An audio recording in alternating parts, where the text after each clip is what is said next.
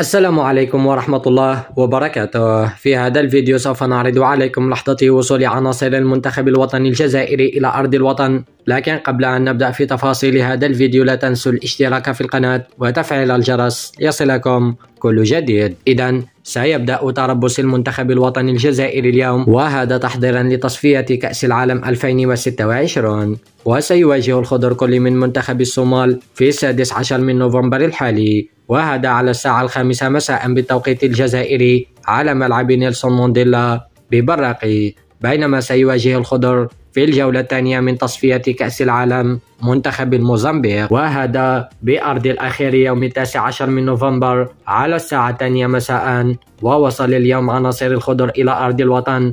وهذا لبداية التحضير لهاتين المواجهتين وهذه بعض صور وصول اللاعبين إلى أرض الوطن.